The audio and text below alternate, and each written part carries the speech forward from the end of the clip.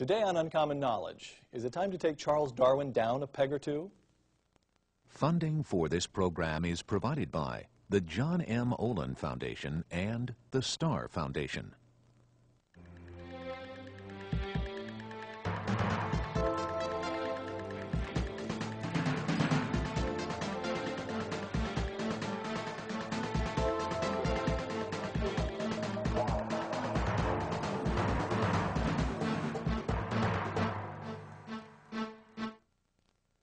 Welcome to Uncommon Knowledge. I'm Peter Robinson. Our show today, Daring to Question Charles Darwin. 143 years after Darwin published On the Origin of Species, his theory of evolution is still controversial. Of course, the overwhelming majority of scientists continue to champion Darwin, but a few people, bright people, have begun to wonder just how well evolution has held up and to put forward a few controversial theories of their own. Joining us today, two guests. Eugenie Scott is director of the National Center for Science Education. William Dembski is a fellow at the Discovery Institute and the author of Mere Creation Science, Faith, and Intelligent Design. The theory of evolution is now so thoroughly understood and so completely borne out by the physical evidence that anyone who questions evolution must be, in the words of scientist Richard Dawkins, either, quote, ignorant, stupid, wicked, or insane, close quote. Bill? Depending on what you mean by evolution, absolutely false. You're not going to get a fight from me. That's a stupid thing to say. That's a stupid thing to say? yes. oh, really? You're both brushing Dawkins aside. But Dawkins is, is one of your boys, though, isn't he? Well, he's somebody who supports uh, uh, evolution and who thinks that evolution happened. I think evolution happened too, but that statement's way over the top. I think we both agree with that. All right, so Richard Dawkins, put your leash on. Let's go through a couple of senses of evolution as a layman like me understands it. Sense number one, evolution as change, merely as change. The planet has a long history. Certain living things that used to exist, such as dinosaurs, exist no longer. Certain li- living things that now exist, such as human beings, appeared relatively recently in the history of the planet. Jeannie, you'd go for that. Works for me. And Bill? Works for me as well. Okay, so you then distinguish yourself from a fundamentalist or so-called young earth creationist who says the Bible claims the earth is about 6,000 years, that you don't, I don't buy that. you have nothing to do with that. All right, sense number 2 evolution in what I take to be a strict Darwinian sense. All living things, everything we see around us, from the uh, blade of grass to me, are descended from one or a few common ancestors by a process of random variation and natural selection. I would You buy augment, that one. I would augment that. There are two things going on. One, the idea, the inference that we make from looking at lots of data that living things shared common ancestors. Secondly is what is the mechanism that brings that about? Those are distinct matters. Those are distinct matters. But I separate descent with modification or common ancestry, the And the inference of common, and the mechanism. and one of the mechanisms is the one that you described, the random variation and natural selection. the mechanism of natural selection, Right. which involves genetic variation and adaptive value of the variants within a particular environment. But there's other mechanisms as well that may explain parts of the evolutionary process. Okay, so do you distinguish then between descent from common ancestors on the one hand? You refute that, you're open to it, you buy I'm, I'm open to common ancestry. I, I think that the, the evidence, I, I don't think I would go as far as Eugenia. I think there's still some, some question about that, but I know there, there are some very strong lines of evidence for common ancestry. And so you're open to that. So I'm open to that. That's not a problem for me, But- that's how it turns out. the mechanism, random variation and natural selection, That, I would say it's, it, it certainly operates, but it's incomplete. I mean, there's no question that organisms vary and that, uh, that those that are more fit, that are adapted in some way, will go on to survive and reproduce. Okay, so the, the mechanism, that Darwin, Darwin was onto something. Question is, was he onto the whole show? Strict Darwinists like Richard Dawkins would want to say he really nailed it down. Uh, where I would differ, I would, I would say the Darwinian mechanism probably only counts for about 2 to 3 percent of what we see.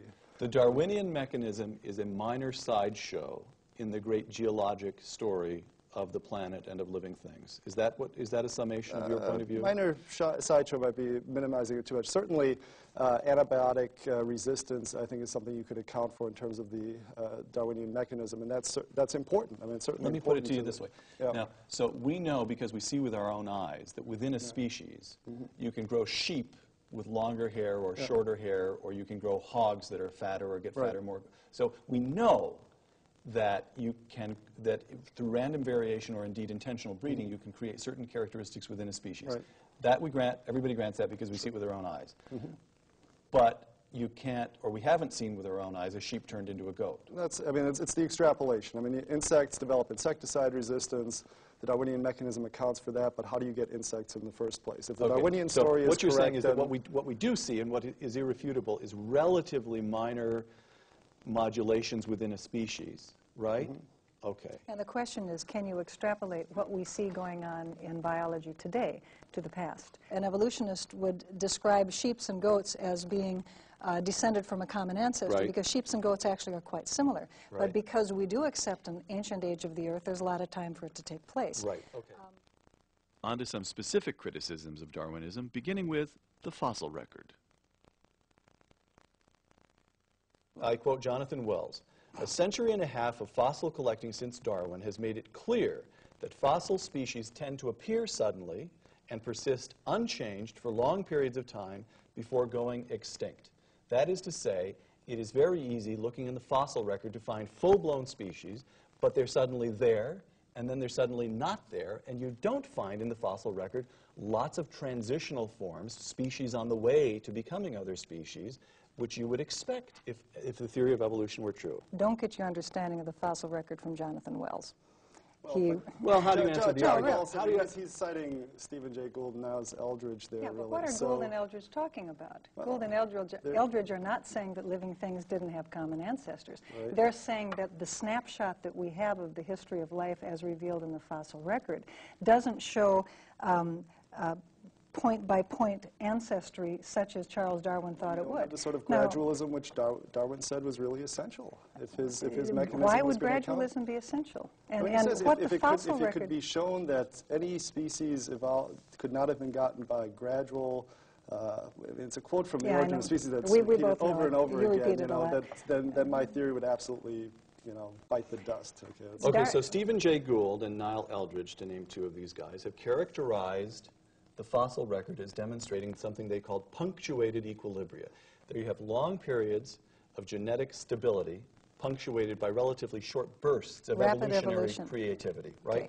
And, And these short bursts, because they're so short, are very hard to find It's a sampling problem. It's, Okay, a, it's a sampling. But what, what the, arg- but the a convenient argument, sampling problem. Well, and, but- and, and that's, that's, I think, that, that's what raises eyebrows for the, some people. the argument about punctuated equilibria versus gradualism familiar within paleontology Yes. Has to do with which explains more of the fossil record, because obviously both do. You find some sequences, particularly with invertebrates, where you have a very nice gradual record. Take a look at some of the molluscan series in, in East Africa. You have other, but we tend to think, you know, we tend to have these blinkers on. We only think about vertebrates. And vertebrates are very unlikely to show those kinds of, of Vertebrates are, why is that? the reproductive cycles take a long time. Uh, an elephant takes a very long time, after all, to, to grow up and reproduce and so forth.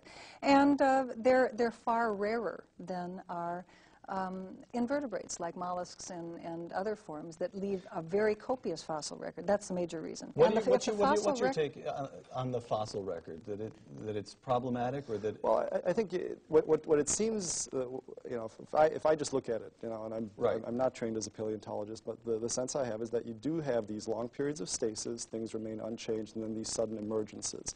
Now, I think you can account for that in terms of common descent, but then you're, you're talking about some very rapid evolution, and there, it's not clear at all that you've got some sort of naturalistic mechanisms, either the Darwinian mechanism of random variation, natural selection. You can supplement that with some, some other uh, self-organizational processes, perhaps.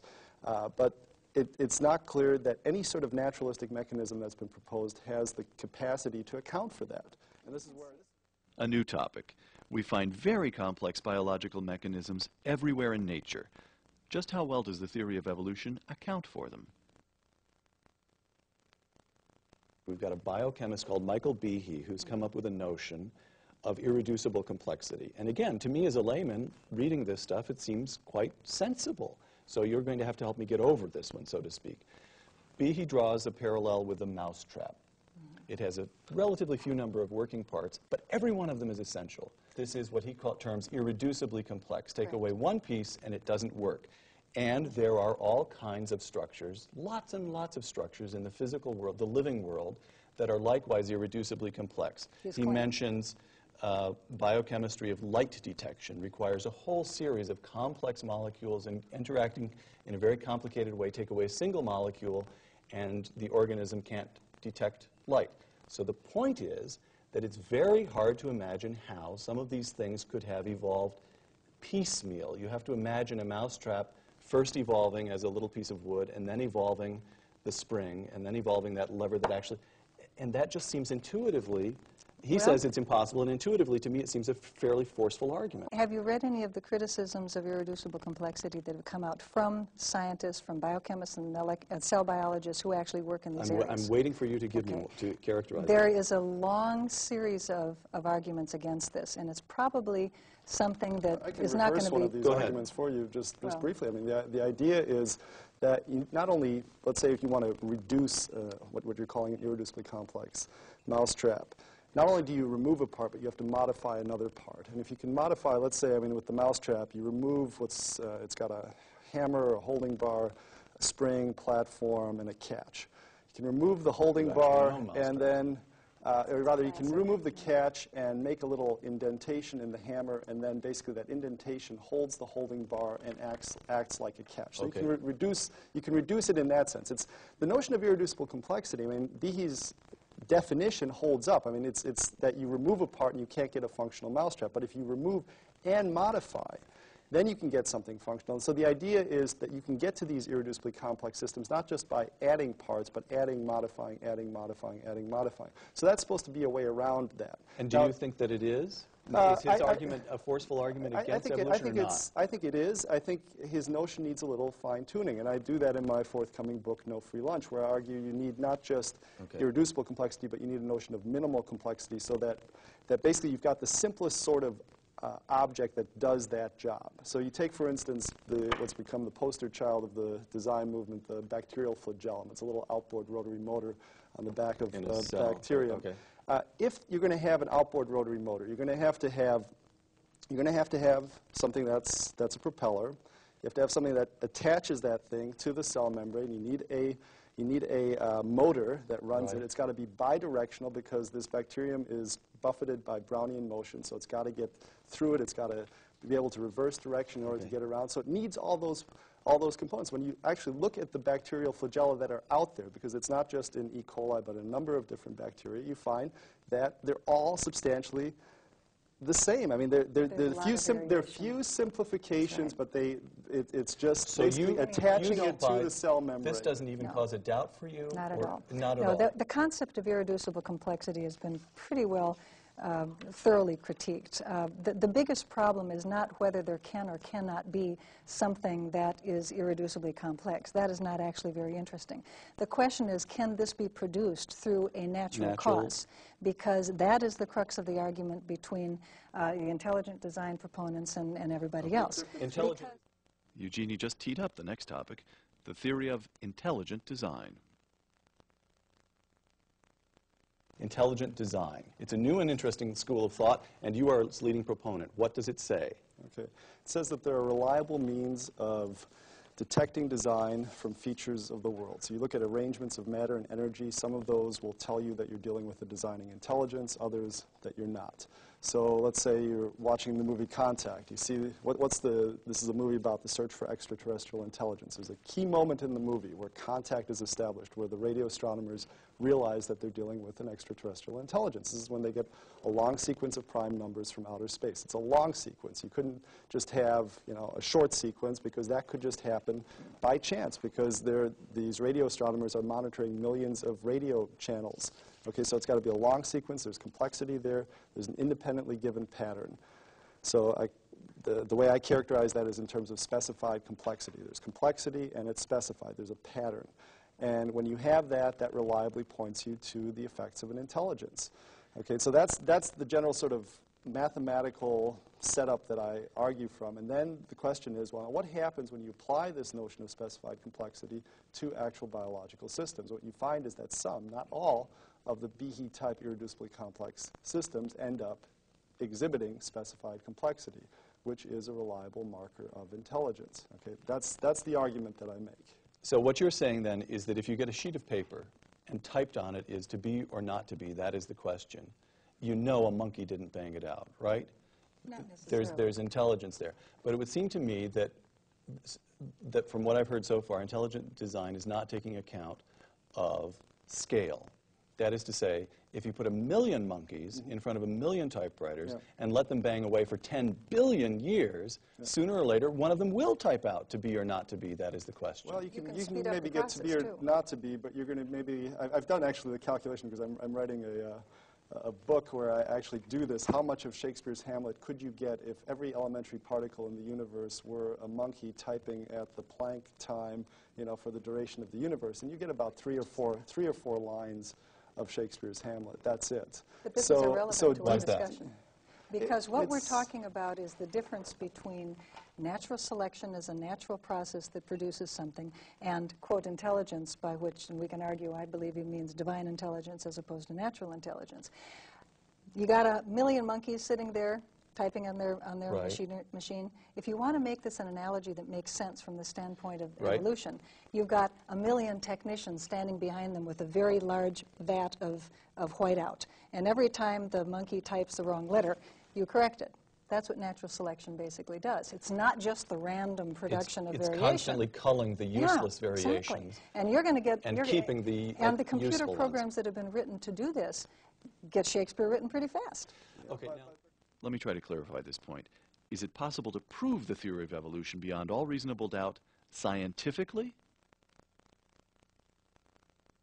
what test can evolution be put to that makes us feel more confident that it's a reliable explanation than is What, what intelligent can- design? How, how do you no, test no, we'll get to him in a moment. The first Okay. question is, what test can evolution be put to? Well, Darwin himself, well, evolu- natural selection you're talking about. Natural about. selection. Okay. The natural selective uh, argument can be tested. Uh, in fact, Darwin himself suggested a test for it. He said if you could find any complex structure that existed in an organism that was solely for the advantage of some other creature, that would truly destroy his theory. Because the argument is that there's a That, however, is attempting to prove a negative. That is proving why the theory would be wrong. What I'm No, no, asking no, for all is you have positive to- proof no, no, all that the you- theory is right. oh well, um, that natural select. We already agreed natural selection works. We did agree that natural selection But produces that what we're minor variations. What I'm asking for is explanations of That minor that, that evolution would would the natural selection could account for common ancestry. Yes, exactly. Okay. Well, consider what we're dealing. Th- this is why I brought up the age of the Earth. This is why I brought up the fact that we have lots and lots Right. and lots of time. Because what we see when we look at variation, which is really a way of saying genetics. Okay, we have heredity. Stuff gets passed down from generation to generation. The genetic variation in a population shifts depending on what uh, the environmental circumstances are. We have examples that we can see in the natural world where widespread populations uh, or uh, species that are widespread over a large geographic area, um, peripheral groups, of, peripheral populations of that widespread species can get cut off from the main body of the species. Right. By which that means that they're no longer exchanging genes. Right. And we're not talking about individuals. We're not talking about that sheep evolving into that Right, goat. We're talking about a bunch of right, sure, organisms. Yeah. mhm. And when you disrupt the genetic flow from that peripheral population to the rest of them, changes can take place in that peripheral population. This has been done experimentally, and this has also been inferred. But big granted. changes, not changes of the kinds of the sheep growing Well, longer hair. Um, Again, over uh, how long a period of time are we talking about? Well, We've mean, never see- observed this for 10 million years, which is what we're talking about when we're talking about geological time. So, I mean, but it could why would you argue that, that the mechanism that we can observe... I'm not arguing anything. I'm asking a question. Okay. Can a test be designed that would make me feel confident that evolution does, in fact, explain the ch- uh, uh, descent from common ancestors? And it sounds so far Mm-hmm. as though there are all kinds of things that make it seem extremely plausible. Mm-hmm. But if it is the case, and it seems to be the case, that you can't design a test that will take place within the lifetime of one of us, that would indicate it's not, it does not live up to that signal criterion of a theory that it is falsifiable, that it can be tested. now we've it could be. It could but be we- that because we're here. talking about eons and eons, no test can be designed. But that's ju- just, that's all I'm asking. But now you just shifted gears on Why is that? Because first of all, um, I, I think we were talking about whether natural selection can bring about descent with modification. Yeah, and it's big- clear that big it can. changes. I mean, yeah. Right, right, a little Okay, very- and, but it, it seems like you've just, just, you know, shifted gears on me to ask me, to ask whether I can refute the idea of common descent itself, which can also be done. Um, a very, in fact, the, the anti-evolutionists have proposed this for a long time. If you find human bones down in the, uh, in the uh, Cambrian or down in the Permian Right, that age would of be clear. fishes, fishes. No, I didn't mean yeah. to, I, So there, there's two I things. didn't you know, mean the to shift gears mechanism, there. I the didn't mean to shift mechanism and the Bill. process are different. The mechanism and the testability. event is Can, different. can intelligent design be tested? Yeah, I would say so. How's I mean, that? Darwin's theory is that basically it's a divide and conquer approach. It's basically that what seems to be vastly improbable, you know, the, these vastly improbable systems that you couldn't get at one great leap. You can break it down into some manageable steps, and each step has to confer some sort of selective advantage. The thing is now, are there systems? Are there systems which, which where you cannot find a gradual, step-by-step um, uh, increase. Let's say you have a system which does not have a bacterial flagellum and one that does. Can you demonstrate reliably that that sort of transition cannot be affected? Okay, that would be that would be confirmation for intelligent design. That's the sort of in Right. principle argument that we're trying to make. It's not an argument from ignorance. Okay, now another. Okay, so what would be to what would it mean to test it or falsify it? Okay, it would be to show that there are in fact gradual routes to these sorts of systems.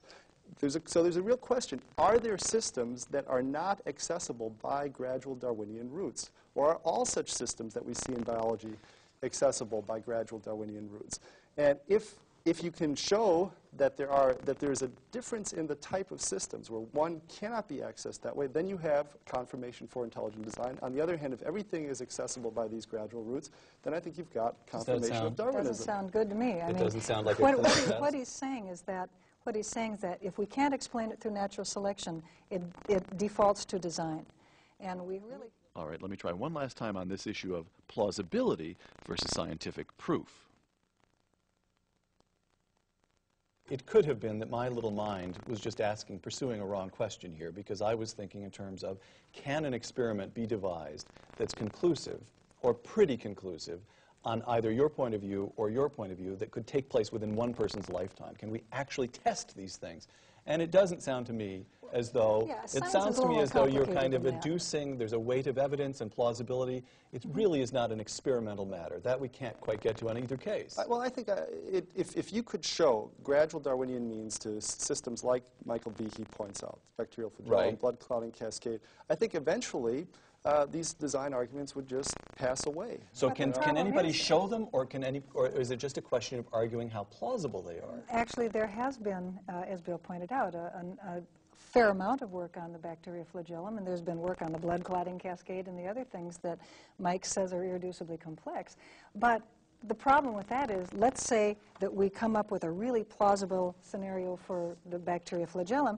The intelligence design people just say, okay, that's not irreducibly complex, but this still is. And so you're that's a spending your whole though, time kind of brushing s- crumbs off But the thing is, table, you haven't, even, up more you haven't and even come close to explaining systems of this Well, complexity. you know, so, you know, it's... the, it's, the, the I young think- Earth creationists keep saying there's Well, gaps in the co- fossil record. We'll never you've- convince you've them. got, we'll you've never got convince thousands you. of paper, uh, I'm still on a this, little nervous this- about on the fossil record system. myself. You need to know more about it, honey. Oh, do I? Okay, listen, we got to wrap it up. It's television. William Dembski, I quote you, in the next five years, intelligent design will be sufficiently developed to deserve funding from the National Science Foundation. Jeannie? Good luck. You laugh I him to scorn? No, no, I don't. Oh, you don't? I You think do he's not. onto something. I- It's a no, no, serious listen, intellectual thi- pursuit. No, listen, this is something that I do want to get clear. And, Sure. and I may, maybe more so than many of Bill's critics of intelligent design have, have often said, look, you are presenting a scholarly position, defend it. Uh, there have been a lot of criticisms. He's working on answering his critics. And maybe in five years or 25 years or day after tomorrow, maybe everybody will smack themselves in the forehead and say, yes, intelligent design is it. But until that happens, Has he gained my any position, purchase on your mind at all? until that happens, it does not deserve to be taught in, in high school, which is what the intelligent design people are arguing. Okay, now let me I've had her comment on you. Let me ask you to comment on Charles Darwin, not on Jeannie, of course. But, uh, so we've got this fossil record. Am I being a little bit jejune and naive about the fossil record? Am I going after something that really isn't a problem, properly understood? I- There, there are lots of structural transitions in the fossil There record are? for The thing group is, you've after got, group. you know, in, in science, you've got all, you've got facts and data, but then you, then you try to put it together with various patterns. And the, the, the interpretive moves you make, you know, if you're, I think, wedded to, if you're wedded there. to, if you're wedded to Darwinism, you'll make it fit. You know, if you're not, it's going to look like a hard fit. So your charge against Darwinism is that it's at this stage of the game, 130 years after Charles Darwin's voyage on the Beagle, it looks contrived. It looks like a theory under immense pressure. I- I- Yeah, it's certainly a a theory under pressure. I mean, especially when it tries to make these totalizing claims, that it's the mechanism that accounts for most of biological complexity and diversity. Do you feel that evolution is under pressure or still sort of I, I. I know that through repetition, uh, various anti-evolutionists, including design people, have argued that evolution is a theory in crisis, but you sure don't find that if you go to universities. It's just not the case It's at all. just, no, I mean, people are mystified by this claim. Jeannie and Bill, thank you very much. Thanks. I'm Peter Robinson for Uncommon Knowledge. Thank you for joining us.